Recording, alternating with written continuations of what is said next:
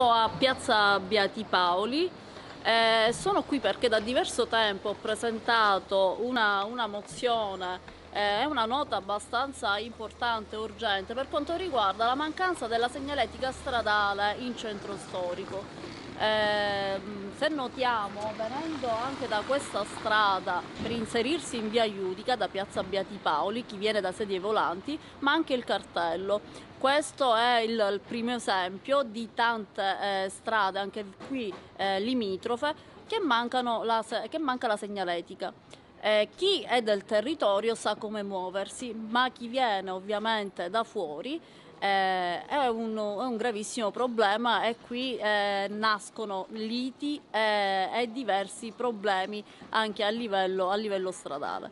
Ma non è soltanto qui il problema, ma anche in altre parti del centro storico dove proprio la segnaletica è mancante. Siamo in Vicolo del Secco e anche qui manca la segnaletica stradale chi arriva in questo punto non sa come deve procedere, se questa strada ha doppio senso, se ha senso unico. Ci troviamo in Cortile del Secco e in circoscrizione, oltre a mancare la segnaletica stradale, mancano le targhe viarie.